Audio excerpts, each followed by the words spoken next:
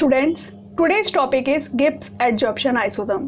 In previous videos, we have understood about the Freundlich adsorption isotherm and Langmuir adsorption isotherm. All of them are based on the adsorption of the gas on the solid surface. And in this, we will understand about the adsorption of a solute from the solution by a solid adsorbent. So the adsorption of a solute from the solution is quite different than the adsorption of the gas on the solid surface. For this, the thermodynamics, the quantitative analysis of the thermodynamics of the adsorption of the solute from the solution was firstly given by J.W. Gibbs in 1878. So this isotherm is known as the Gibbs adsorption isotherm. As it is a isotherm, so whole the process takes place at the constant temperature now here we see that there is a beaker in which there is a liquid. And it is a two component system. It means there is a liquid and in which a solute is dissolved. There is also a solute which is di dissolved in this liquid. So there are two components. One is a liquid that we will call one and another is a solute that we call number two. Now the surface tension of the solute is smaller as compared to that of the liquid. The surface tension of the solute is lesser as compared to the liquid. So, this solute will decrease the surface free energy of the liquid. It means it will decrease the surface tension of the liquid. So, what will happen? There will be a difference in the concentration of the solute in the liquid in the bulk and in the surface. This is the surface of the liquid. So the concentration of the solute will be quite different at the bulk as compared to that in the as compared to the surface that in the bulk. So what happens as the surface tension of the solute is smaller as compared to liquid so it tends to accumulate on the surface. These solute particles tends to accumulate on the surface of the liquid. Now for a two component system as we have said one is the solute and another is the liquid we will call them 1 and 2 so for the two component system the free energy Gibbs free energy is given by G is equal to n1 mu1 plus n2 mu2 here n1 and n2 is what? These are the number of moles of the liquid and the solute. And mu1 and mu2 are the chemical potentials of the liquid and the solute. Now the change in the free energy by the adsorption of one component it means solute we can define it by G is equal to N1 mu1 plus N2 mu2 plus gamma sigma. Here gamma is the surface energy and sigma, sigma is the surface area. If we differentiate this equation, then our equation becomes dg is equal to n1 d mu1 plus mu1 dn1 plus n2 d mu2 plus mu2 dn2 plus gamma d sigma plus sigma d gamma. This we will call our first equation. Now we know that the free energy is a function of three independent variables. The variables are temperature pressure the number of moles of one component and number of component number of moles of second component and sigma. It means the surface area.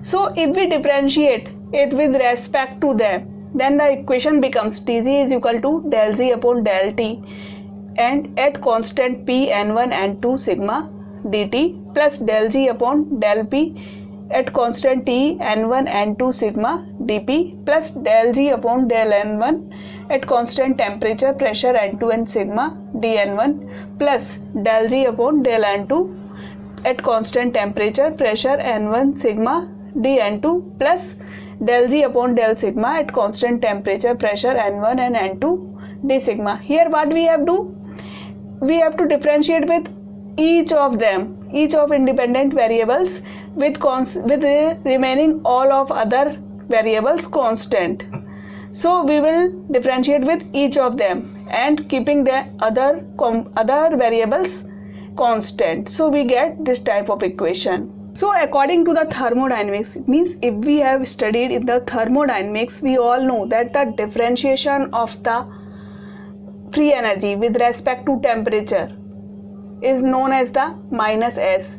It means minus of the entropy. Del G upon del P at constant T, N1, N2 sigma. It will be known as the v. And del g upon del n1 it will be known as the mu1 del g upon del n2 it will be known as mu2 and del g upon del sigma it will be known as gamma. So we can put their values so that we will get dg is equal to minus sdt plus vdp plus mu1 dn1 plus mu2 dn2 plus gamma d sigma. So it becomes our equation second. Now we have done all the process at the constant temperature and constant pressure. It means our dt value will be equal to 0 and at constant pressure dp will be 0 so in this equation dt is equal to 0 so this term becomes 0 now see dp is equal to 0 so this term also becomes 0 so we will put their values 0 and 0 so now our equation becomes like dg at constant t and p is equal to mu1 dn1 plus mu2 dn2 plus gamma d sigma this becomes our equation number 3 now if we compare our this equation with the equation number 1, you can see that you can pause the video and reverse the video. You can see that if we compare it with the equation number 1, we can find out that in the in the equation number 1 there was three another terms. But in this equation there are only three terms. So all other three terms will be equal to 0 that must should be equal to 0 so we can write that n1 d mu1 plus n2 d mu2 plus sigma d gamma will be equal to 0 so it becomes our equation number 4 okay till then we have studied whole the process that was happening on the surface of the solution now we see what happens in the bulk of the liquid in the bulk of the liquid we will show the N1 and N2 by these signs N1 naught and N2 naught. These are the number of the moles of the liquid and the solute in the bulk. Now in the bulk we will not use the surface tension or surface energy term So sigma d gamma we will not use that term here. So our equation now becomes n1 not d mu1 plus n2 not d mu2 is equal to 0. This is the equation that will be in the bulk of the liquid. Now we know that in the equilibrium, when the system is in equilibrium, then the chemical potential of any component is same in both the phases. It means the chemical potential will be same in the bulk as well as in the surface. So we can say that either the value of du mu1 and the change in the chemical potential if we disturb the equilibrium if we are disturbing the equilibrium and attain it again then the change in the chemical potential will also be same in the bulk as well as on the surface. So we can say that the d mu1's value or that of the d mu2's value in the bulk as well as on the surface will be same. So we can write that n1 not d mu1 will be equal to minus n2 not d mu2 we will write here the value of d mu1 in the term of d mu2. So our equation becomes d mu1 is equal to minus n2 naught upon n1 naught d mu2. Now we will substitute this value of d mu1 in our equation that is for the surface. It means equation number 4 that was for surface. And we will put this value because the value of d mu1 will be same for the bulk as well as for the surface. So we will put this value. So after putting this value our equation becomes n1 times minus n2 naught upon n1 naught d mu2 plus n2 d mu2 plus sigma d gamma is equal to 0.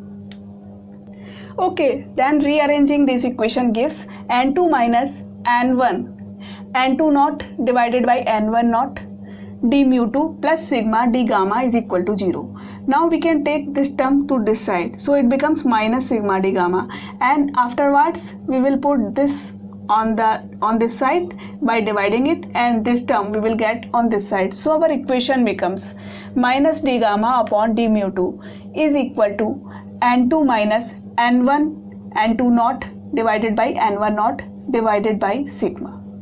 Now if we look carefully this equation, in this equation there is a term in the bracket. This is n1 n2 naught divided by n1 naught. This term. This term is the amount of the solute n2 naught associated with the liquid N1 naught in the bulk because it is N2 naught.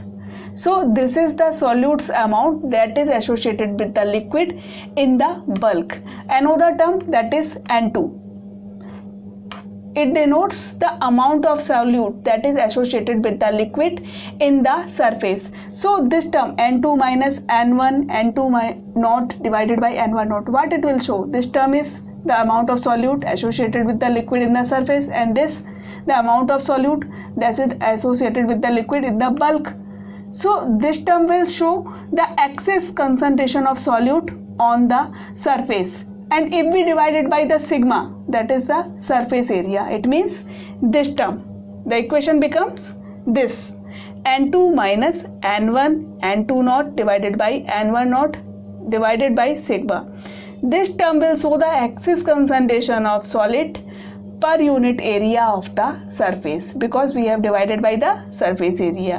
So we get the excess concentration of solute per unit area of the surface and we denote it by the another symbol. This symbol we use here and this symbol is called gamma and we have used a subscript 2 so it becomes gamma 2 so this is the excess concentration of solute.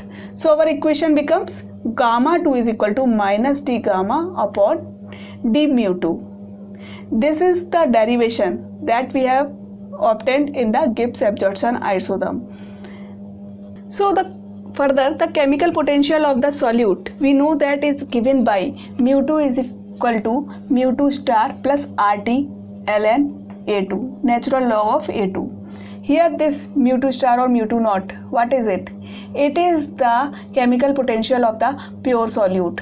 After differentiating this equation, our equation becomes d mu2 is equal to RT, d natural log of A2. Now here one, one thing should be noted that the d mu2 star will be equal to 0. So our equation becomes like this. Now if we put the value of d mu 2 in our equation that we have derived for the excess concentration, then our equation becomes excess concentration gamma 2 is equal to minus 1 upon RT del gamma upon del natural log of A2 at constant temperature.